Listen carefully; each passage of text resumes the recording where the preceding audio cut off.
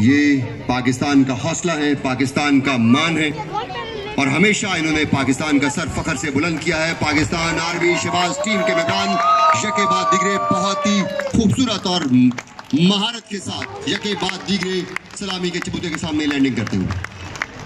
विकेटर शफीक, क्या accurate landings हैं? हम देख सकते हैं कि कितने मुकर्रा जो हदफ है, उसको मिस नहीं किया जा रहा। और किस तरह से कामयाबी के साथ अपने हदफ तक पहुँचना मुमकिन किया गया है। यही इन एसएसजी के जवानों का खासा है। हमेशा इन्होंने कौम का सर फखर से बुलंद किया है। दहशत गर्दी के खिलाफ एसएसजी का एक कलीदी किरदार रहा है।